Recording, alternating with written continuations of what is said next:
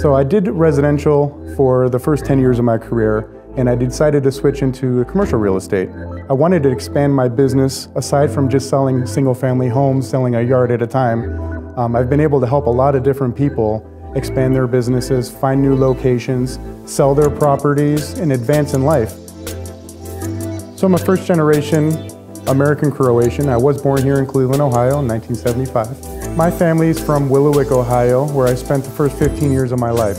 Um, my mom and dad were machinists, working in machine shop our entire lives to provide for the family.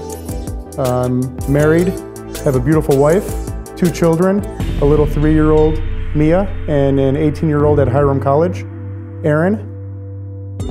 One of the things that separates me from every other agent is, I believe, my personality. And I think that's why people respect me because I don't judge.